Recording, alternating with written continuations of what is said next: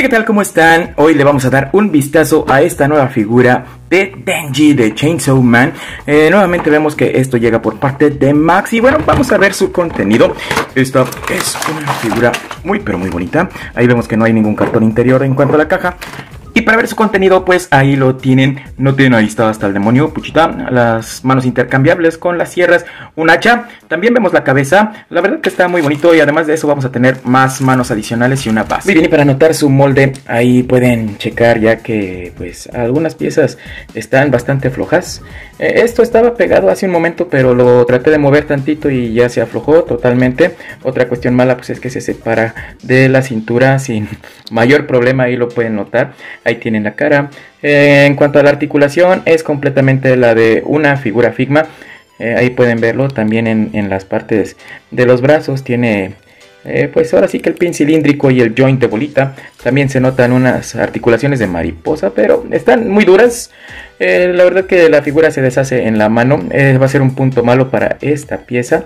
Por lo demás, pues ahí tienen el rostro, tienen el cabello, vean los detalles, vean el detalle del molde de la camisa. Eh, la articulación central, ahí vemos que tiene una articulación tipo Figma también. Y más abajo pues también pudiera decirse que tiene otra articulación dentro de esto. Vean aquí es una pieza totalmente flexible. En los pies pues tenemos esto. Ahí está. Ven, los tenis. Creo que en cuanto a molde está muy bonita respeta el personaje, pero lamentablemente la calidad no va a ser la más óptima. Bueno, y para ver una ligera comparación con la figura que mostramos anteriormente en el canal, aquí tienen el otro Chainsaw Man, la otra versión que pueden conseguir también en AliExpress. Creo que ambas tienen su encanto, cada una de ellas representa a su manera el personaje, ya cada uno de ustedes sabrá cuál de las dos es mejor. Tal vez esta porque tiene las dos apariencias, pero bueno, si quieren dos figuras, quieren dos opciones, aquí las tienen. Y para ver su rango de articulación completo, ahí podemos ver que puede ofrecernos este movimiento hacia enfrente, hacia atrás y hacia arriba. Ahí está. También tenemos pivoteo o movimiento angulado, bastante amplio. El cuello le ayuda un poquito, aunque también si ven ahí se zafa con facilidad. En los hombros tenemos la articulación tipo Figma que nos permite este movimiento. En este caso no se mueve más de este punto. Es todo lo que nos va a ofrecer ángulo de 90 grados. También tenemos rotación tipo 360 aunque se endurece un poco. Ahí está. Eh, mariposa amigos míos si hay. Lamentablemente está muy dura no se mueve. Al momento de quererlo pues ahora sí que articular eh, parece que la articulación también es un poquito endeble así que tengan cuidado. Bueno y miren aplicando un poco de lubricante en esos puntos que se ven ahí van a lograr que esta articulación se mueva para que puedan darle el rango de movimiento hacia el centro del pecho con los brazos. En el codo tenemos movimiento eh, normal, movimiento de bisagra, ahí lo tienen. Tal vez se desfasa un poco hacia atrás. También podemos rotarlo en su eje desde la parte alta del codo y obviamente desde la parte baja también. La manita tiene su bisagra y su rotación. El pecho también está muy bien segmentado y también tiene mucho movimiento aunque se sale con bastante facilidad. Ahí ven que tiene una articulación con bolita y bisagra que le va a permitir movimientos oblicuos muy buenos y pivoteo también, aunque se va a ver un poco raro. La cintura obviamente que sí está segmentada y la espalda también tiene una segmentación, ahí pueden ver que se está moviendo. Eh, lamentablemente el punto malo es que todo esto se desarma al tratar de moverlo, incluso ahí pueden ver que la camisa ya se ha tal vez manchado un poco entre tanto movimiento con el pantalón. Ese es otro punto en desventaja para esta figura. Eh, las piernas sí se mueven, si tienen este movimiento, miren hacia adelante, hacia atrás. Eh, lo lamentable es que se, está moviendo de esta forma y también se salen con mucha facilidad amigos míos. Eh, rotación de muslo, si tenemos, ahí vemos la articulación, vean lo que nos ofrece. También la rodilla tiene una rodilla simple tipo Figma que también le puede ayudar al movimiento en su eje, ahí lo tienen. Y la bisagra en el empeine también está presente, el movimiento angular también está y la punta del. Ok, y para ver los accesorios aquí tienen el par de puños cerrados y vean ese primer rostro. Eh, creo que cumple decentemente, aún así tiene desfases. Ahí se ve en el molde y también los dientes no terminan de estar bien hechos. Ya me dirán ustedes si les gusta o no. Ahí tienen un segundo par de manos extendidas y noten el segundo de los rostros. Creo que se nota bien, aún así tiene algunas cuestiones que no terminan de convencer, pero eh, cumple, cumple con lo que es representar el personaje y eso no lo podemos negar. Y claro que vamos a tener un par de manos para sostener el accesorio del hacha que viene con la figura. Noten el acabado que tiene, es un acabado mate y un poco metálico en el filo de esta hachita. Creo que se nota bien y además de que las manitas sostienen bastante bien el accesorio. Bueno, y miren, ahí tienen unas manos representando una pose tipo de Victoria. Y también tienen el tercer rostro, un rostro con una lengua y los dientes afilados. Creo que se nota bien. Aún así no, se, no termina de convencerme. ¿Ustedes qué piensan? Y entre otros accesorios tenemos esta mano de tipo individual con una uñota. Ya me dirán ustedes para qué sirve. Yo la verdad desconozco el personaje. Esta pose la vi en la caja, así que así se las dejo aquí. Bueno, y vamos a hacer el cambio de accesorios para ponerle la cabeza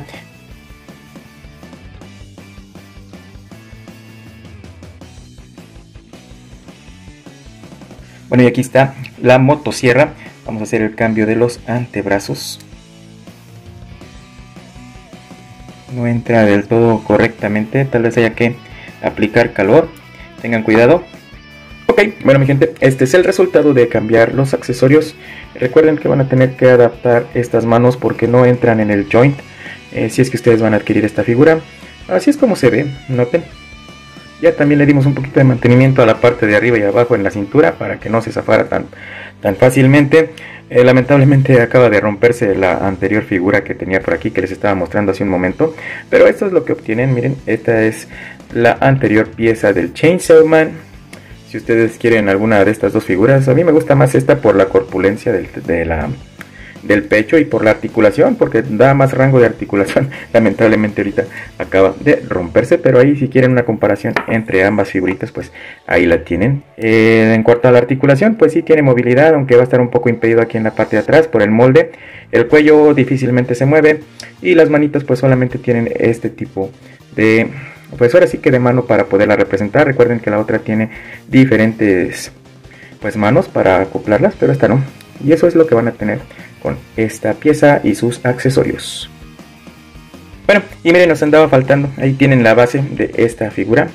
Ahí tienen que tiene el relieve característico en estas bases con el nombre de la marca. Y también tenemos este accesorio bellísimo, la canija Puchita, el demonio que le da los poderes a Denji. Así que amigos, pues es un aditamento bastante bonito al que le guste este personaje, al que quiere el personaje completo, pues va a tener muchas opciones con esta figura. Bueno, y para los que se preguntan si hay compatibilidad entre figuras, pues la verdad es que no. Estas articulaciones son muy pequeñas para los brazos de la figura tipo Figma.